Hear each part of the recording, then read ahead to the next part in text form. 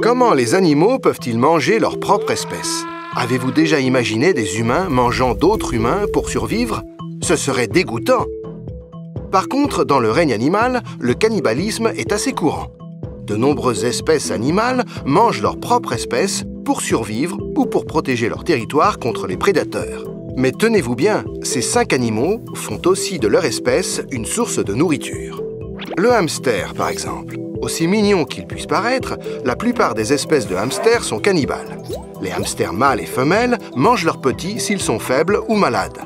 Une femelle peut tuer ses bébés s'ils sont trop nombreux, si elle ne peut pas les défendre lorsque son territoire est en danger. La menthe religieuse, certainement pas aussi innocente que son nom l'indique. La menthe femelle mord parfois la tête de son partenaire immédiatement après l'accouplement, afin de se nourrir et de nourrir sa future progéniture. C'est d'ailleurs assez facile pour elle, car le mâle est généralement plus petit que la femelle. Le lapin. N'est-il pas adorable Et très propre? Tellement propre que la mère peut dévorer ses petits après l'accouchement pour que tout reste intact.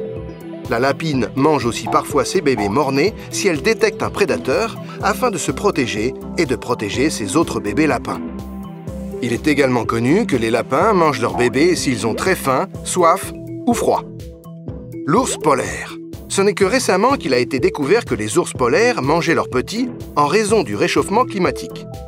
Il est devenu difficile pour eux de chasser les phoques avec la fonte des blocs de glace. Par conséquent, pour survivre, ils sont obligés de manger leur bébé. Le poulet. Les poulets se picorent afin d'établir le pouvoir et la hiérarchie, d'où le terme ordre de bectage. Les poulets s'imitent aussi aveuglément, donc si un poulet commence à donner des coups de bec à un autre, les autres suivent. Et il se transforme ainsi en cannibale. Il est également connu que les poulets qui ont une carence en calcium mangent parfois leurs propres œufs. Donc si vous culpabilisez de manger des œufs, ne vous inquiétez pas, les poulets en mangent aussi. Pour plus d'informations intéressantes, abonnez-vous à notre chaîne et cliquez sur l'icône en forme de cloche pour recevoir les notifications sur nos nouvelles vidéos.